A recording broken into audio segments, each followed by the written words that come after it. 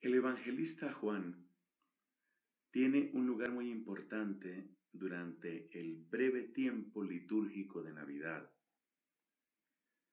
Este tiempo de Navidad empieza con la solemnidad de la Navidad, el día 25 de diciembre, y termina con la fiesta del bautismo del Señor. Esos días son usualmente el equivalente a unas dos semanas, un poco más o un poco menos. Ese es el tiempo de Navidad.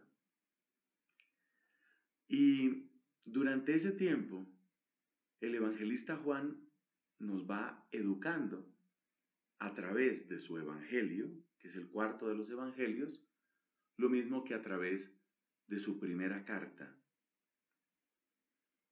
hay tres cartas en el Nuevo Testamento que se atribuyen a San Juan.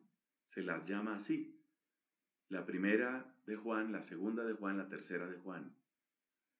Pero la segunda y la tercera cartas de Juan son sumamente breves, equivalen como a una sola página. En una página cabe completa la segunda carta de San Juan o la tercera carta.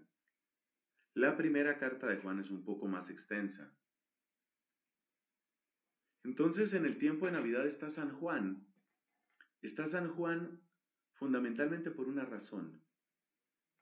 Porque es el evangelista que de una manera más profunda se remonta en el origen de Cristo. Cada uno de los evangelistas habla, por supuesto, del origen de Cristo. San Mateo empieza su evangelio diciendo, origen de Jesucristo. La palabra que él utiliza es Génesis. ¿Qué significa eso? Origen.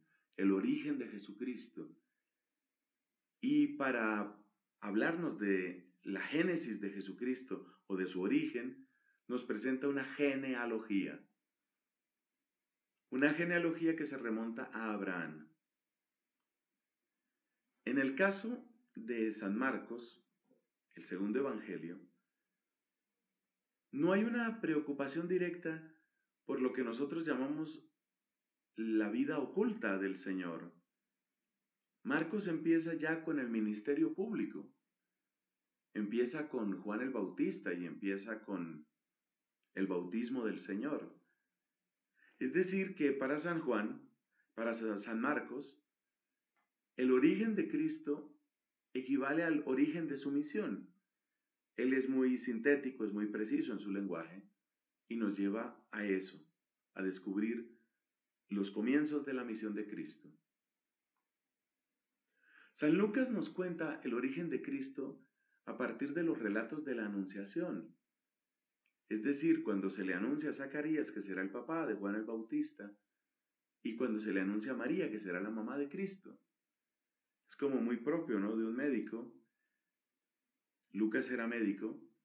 El hablar del origen de Cristo, pues en términos de el comienzo de su cuerpo, a partir, obviamente, de la concepción. Y eso es lo que hace Lucas.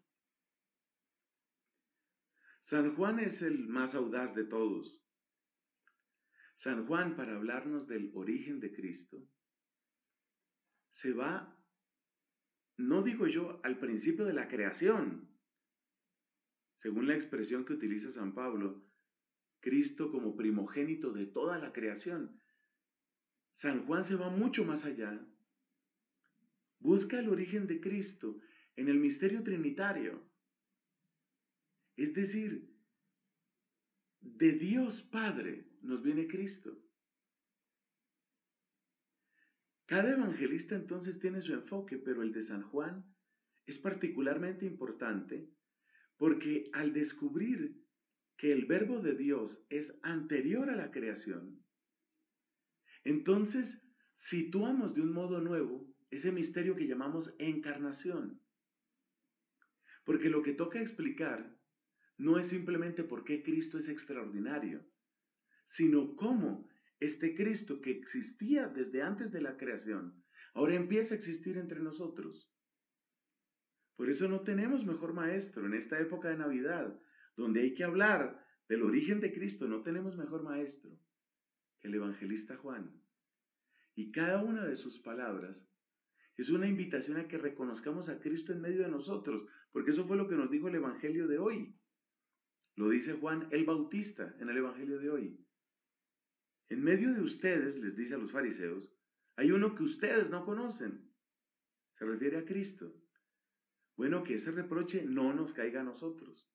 Que no haya que decir que hay uno que no conocemos. Eso sería muy triste. Más bien que este Cristo sea conocido entre nosotros con la guía que nos dan los santos, con la guía que nos da el Espíritu Santo y hoy en particular con la guía que nos da el gran evangelista Juan.